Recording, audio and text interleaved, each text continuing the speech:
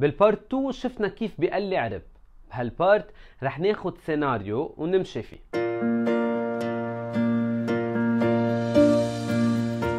قبل ما ناخد السيناريو خلونا نحكي شوية تفاصيل. ال RIP V1 هو classful routing protocol وما بيبعت subnet mask info بال updates تبعه. الراوتر هو بيستنتج ال subnet mask كيف؟ يا بيستعمل ال subnet mask ال configuré على ال local interface أو بيشتغل على ال default classful subnet mask من ورا هيدي ال limitation RIP V1 networks ما بيقدروا يكونوا discontiguous وما بيقدروا يعملوا implémentation لل VLSM بعد شغلة ال AD يعني ال administrative distance هي اللي بتحدد ال preference أو level الثقة بال route source RIP عنده default administrative distance اللي هي 120 when compared to other interior gateway protocols RIP هو least preferred routing protocol هلا بنفوت على السيناريو تبعنا عم نشوف ثلاثة routers R1 connected على R2 R2 connected على R1 et R3 و R3 connected على R2 إذا بتلاحظوا بهال topology في عنا 5 class C networks تذكروا إنه RIP V1 هو classful routing protocol وكل ال networks لازم يكون عندهم the same subnet mask رح منشوف كيف ال RIP v1 بيستعمل ال class تبع ال network ليستنتج ال subnet mask تبعه. قبل خلونا نشوف كيف بنعمل enable ل RIP على الراوتر. بنستعمل ال router RIP command so for example على R1 بنفوت على ال global configuration mode using conf t command. We issue the router rip command. وهون بنفوت لنعمل changes. ال router RIP command مش دغري بتبلش بال RIP process it provides access to configure routing settings.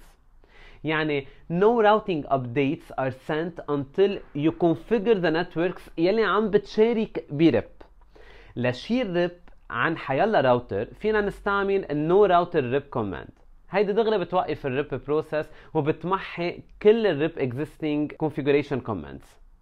so so هلا كيف بنحدد أي networks عم بيشتغلوا على RIP بنكمل مطرح ما كنا. بنستعمل ال network command وحدا بنكتب ال IP address تبع ال directly connected classful network ال network command enable rip على كل ال interfaces يلي موجودة ضمن ال specific network وبيبلشوا ال associated interfaces يبعتوا ويتلقوا RIP updates كمان هال command will advertise the specified network بال routing updates يلي بتنبعت لبقية ال routers كل 30 second خلونا نعمل verification ونشوف كيف بنعمل troubleshooting ال RIP ال show IP route command بتعطينا صورة واضحة وتفاصيل كتير عن ال routing table تبع الراوتر إذا بناخدها على ال router R1 بتعطينا the following.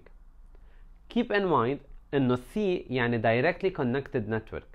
R هي RIP route وبما إنه عم تعطينا ال entire routing table بنستعمل هال command لنشوف ال convergence تبع ال network إذا كل شيء صار يعرف كل شيء عن كل شيء ال routes معقول ما يبينوا دغري وقت نكتب هال command لأن ال networks بتاخد وقت لتعمل convergence خلينا نشوف ال output تبع show IP route على كل راوتر شو بتعطينا. رح ناخد 1 entry لنحكي عنها أكثر مثل ما قلنا R هي ال source من مطرح ما تعلم هيدا ال route يعني RIP تاني وحدة هي remote network address وال subnet mask بيرجع فيه ال AD اللي حكينا عنها قبل مع عدد ال hops ال metric يعني. بيرجع في ال address of the next hop router وبعدين في الوقت اللي مرق من آخر مرة عمل update وبالآخر في ال local أو ال exit interface تاني command رح نشوفها هي show IP protocols هال command بتعطينا details عن ال routing protocol المستعمل. إذا صار معكم شيء غريب فيكم تستعملوا debug IP rip ما تنسى تستعملوا undebug all to turn off كل ال debug اللي مشيتوه قبل. بنرجع على السيناريو تبعنا. عم نشوف إنه ال routers عندهم routes على LAN. يعني مش على other routers. ال interfaces اللي بتاخدنا على هيك networks بنقلها passive interface. و it's passive لأن ما في لزوم الراوتر يبعت عليها routing update since ما في راوتر بوجهه هونيك. وفينا نحن نحدد له أيها ال interface ال passive من خلال command passive interface. Par exemple, على R2 فينا نكتب router passive interface fast ethernet 0/0 So هلأ no updates will be sent من هال interface.